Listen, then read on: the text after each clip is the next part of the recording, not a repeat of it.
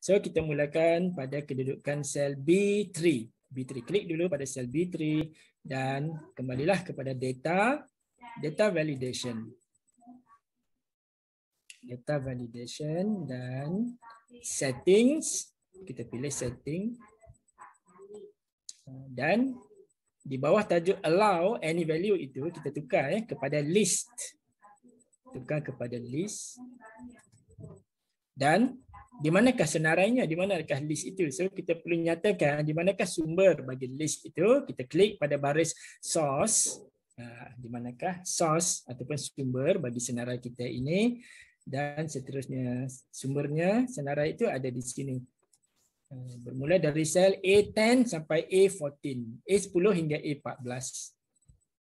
Kemudian boleh jadi seseorang pengguna dia menaip satu nama produk yang tidak ada dalam senarai uh, dan kita boleh keluarkan satu pop-up message. Uh, di sini kita boleh setkan satu error alert.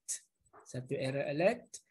Title, uh, warning, error ataupun sebarang perkataan yang kita suka silakan saya pilih warning. Product not in the list. Product not in the list ataupun kita boleh tulis dalam bahasa Malaysia produk nama produk yang anda masukkan tidak tersenarai ataupun tiada dalam senarai klik OK Okay, dengan apa yang kita buat ini, actually kita telah mencipta satu drop down list begini ya. Kita telah mencipta satu drop down list supaya pengguna itu boleh buat pilihan. Boleh klik saja. Sebenarnya tak perlu type lah.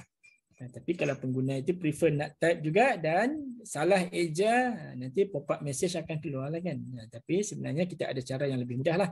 Dengan apa yang kita buat ini kita boleh memilih nama produk itu dari satu senarai.